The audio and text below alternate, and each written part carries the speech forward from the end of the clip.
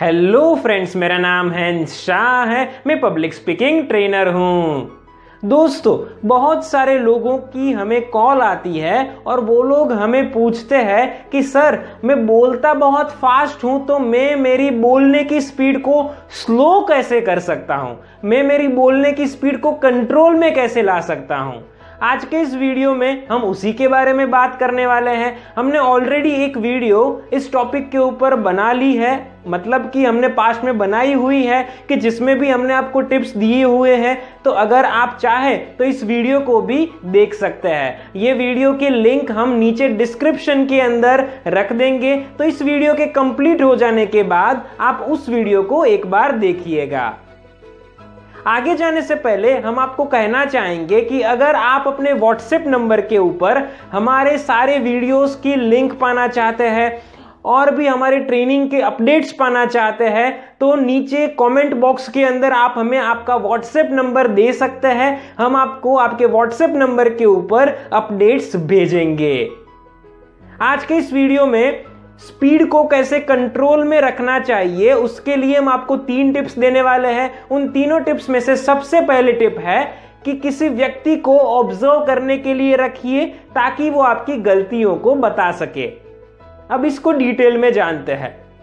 आप जब बोल रहे हैं, तब आप किसी व्यक्ति को कहिए कि वो व्यक्ति आपको ऑब्ज़र्व करे। अब ये चीज़ जो है, वो आपको कंटिन्यूसली किसी के द्वारा करवाने की ज़रूरत नहीं है। लेकिन हर रोज किसी एक व्यक्ति को आप कह सकते हैं। उदाहरण के तौर पर आप अपने फैमिली मेंबर को कह सकते हैं आप अपने फ्रेंड को कह सकते हैं, आप अपने ऑफ़िस के कॉलिग को कह सकते हैं, उनको कहिए कि मैं इस समय से इस समय के बीच में जो भी बोलता हूँ, आप मुझे अच्छे से ऑब्ज़र्व कीजिएगा और जो भी मैं गलती कर रहा हूँ, वो आप मुझे बताइएगा।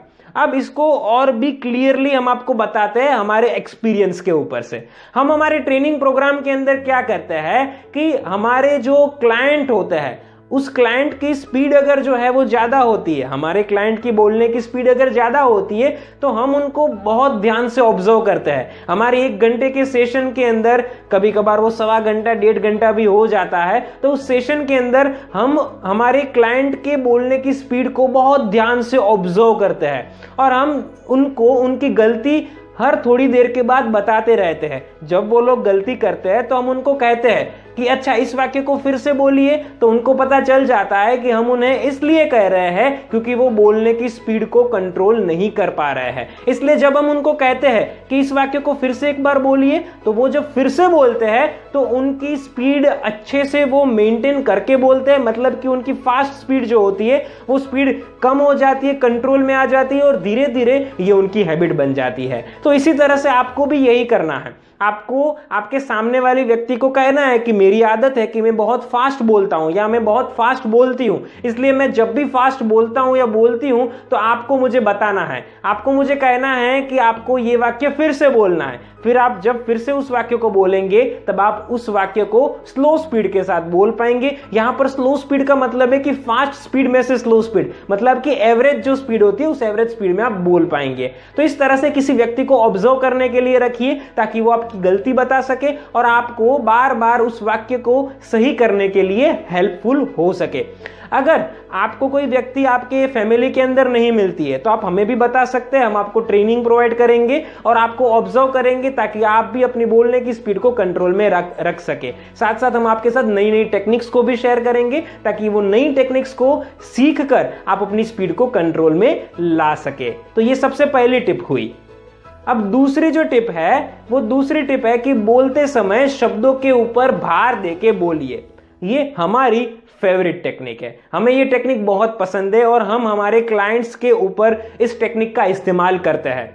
जब भी कोई व्यक्ति बहुत फास्ट बोल रही होती है तो उस व्यक्ति को फास्ट स्पीड में से नॉर्मल स्पीड में लाने के लिए आपको उन्हें भार दे के बोलना चाहिए, ऐसा सजेस्ट करना चाहिए। आप उन्हें कह सकते हैं कि आप जो भी अब बोले, तब भार दे के बोलिएगा। अगर आप भार दे के बोलेंगे तो आपकी स्पीड जो है वो कम हो जाएगी।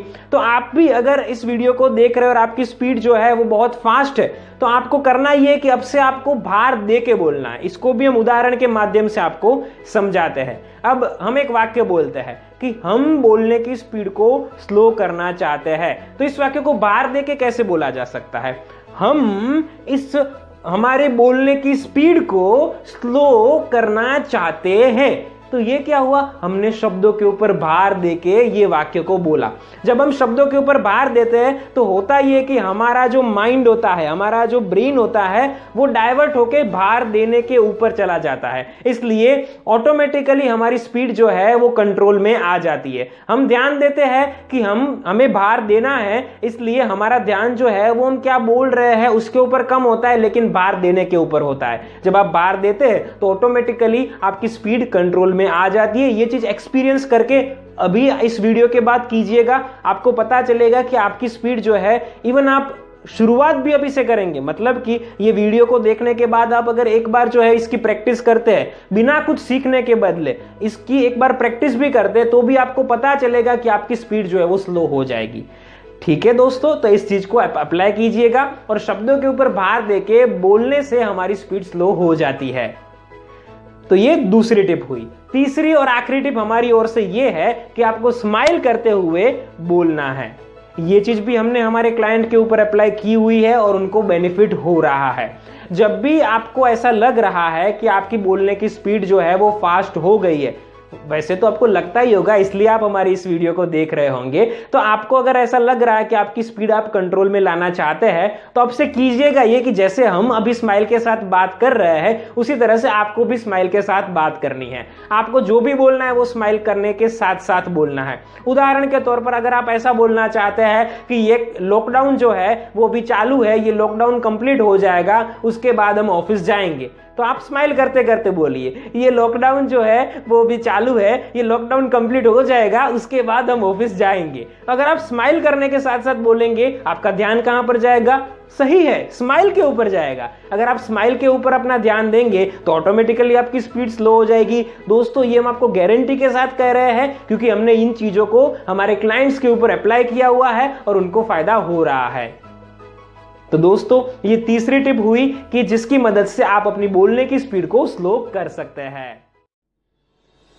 दोस्तों, हमने आपको ये तीन टिप्स दिए कि जिन तीनों टिप्स को फॉलो करके, या तीन में से अगर आप कोई भी टिप्स को भी फॉलो करते हैं तो आपको फ़ायदा तो होगा ही। लेकिन तीनों टिप्स को फॉलो करेंगे तो आपको जल्दी फ़ायदा होगा और आपकी बोलने की स्पीड जो है वो जल्दी कंट्रोल में आएगी।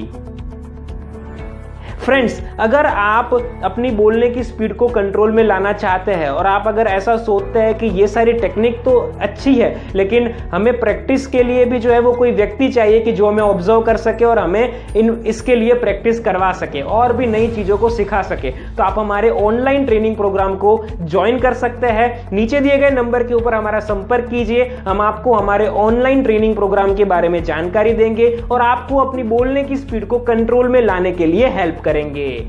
साथ ही इस वीडियो को ज़्यादा से ज़्यादा लोगों के साथ शेयर कीजिएगा, ताकि जो लोग इस प्रॉब्लम को फेस कर रहे हैं, वो लोग अपनी इस प्रॉब्लम को कंट्रोल में ला सके या फिर सॉल्व कर सके।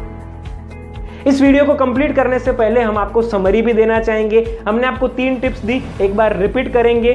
सबसे पहली टिप हमारी ओर से आपके लिए ये थी कि आप किसी व्यक्ति को ऑब्ज़र्व करने के लिए रखिए, कि जो व्यक्ति आपको आपकी गलती बता सके और आप जब गलती कर रहे हैं, तब आपको वो वाक्य रिपीट करने के लिए कह सके। ताकि आप जब रिपीट कर रहे हैं वाक्य, तब आप सही तरीके से उस वाक्य को बोले।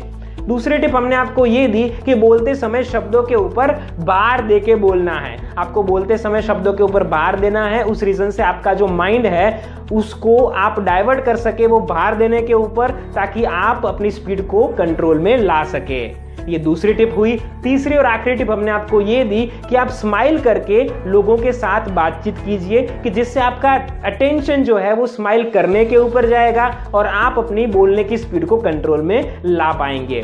दोस्तों, ये सारी चीज़ें जो है वो हम आपको हमारे एक्सपीरियंस के ऊपर से बता रहे हैं। ये प्रूव की हुई है चीज़ें हमने हमारे ट्रेनिंग प्रोग्राम के अंदर, दोस्तों। तो इन चीज़ों को फॉलो कीजिएगा, आपको बहुत फ़ायदा होगा।